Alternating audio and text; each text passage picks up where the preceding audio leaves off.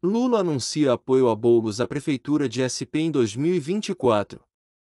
Pré-candidato do PSOL desistiu de disputar o governo de SP para concorrer como deputado federal neste ano. PT e PSOL negociam apoio para a unificação de candidaturas. Em evento nesta sexta, Lula também disse que pode entrar com recurso para pedir indenização maior de Dallagnol. Assisto agora, em Últimas notícias.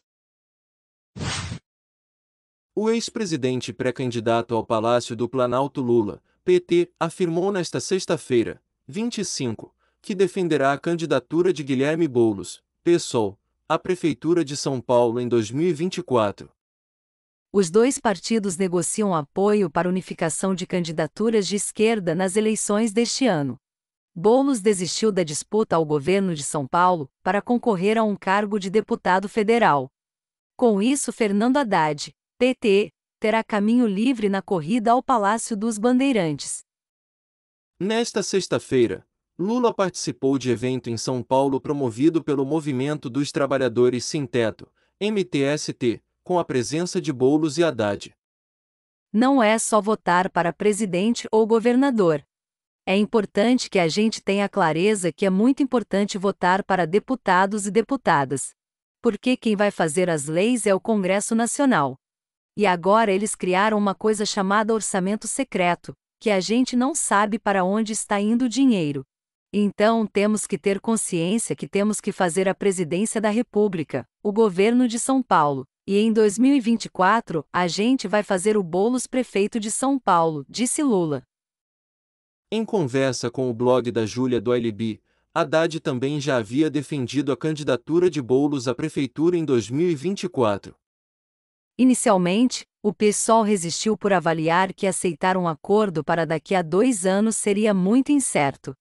Mas as conversas avançaram e o PT aceitou fazer uma manifestação pública sobre o acordo, o que deixou o partido mais confortável para tomar a decisão, segundo apurou o blog. Durante o evento, Lula também comentou sobre a decisão do Superior Tribunal de Justiça, STJ, de condenar o ex-procurador Deltan Dallagnol a pagar uma indenização de 75 mil reais por usar um PowerPoint que definia o ex-presidente como chefe de organização criminosa. De acordo com o ex-presidente, como Dallagnol arrecadou dinheiro para pagar a indenização, o PT estuda entrar com recurso para cobrar valor maior. A gente estava reivindicando um milhão de reais, mas a justiça só deu 75 mil reais, que com a correção vai dar uns 130 mil reais. Ele, Dallagnol já fez campanha. Ele disse que não podia pagar, arrecadou mais. Então agora talvez a gente entre com recurso para cobrar mais. Porque se ele pode arrecadar, ele pode pagar mais, disse Lula. O dado concreto é que eles não estavam acostumados com gente decente nesse país.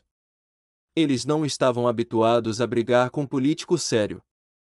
Se preparem bolos, você, o Haddad, o Marinho, porque eles não vão perdoar. Eles não gostam da gente não é por posição ideológica. Eles não gostam da gente é pela nossa posição de inclusão social, de respeito ao povo trabalhador e ao povo pobre. Se inscreva para acompanhar a cobertura desta e de muitas outras notícias. Veja também essas outras notícias que podem ser do seu interesse.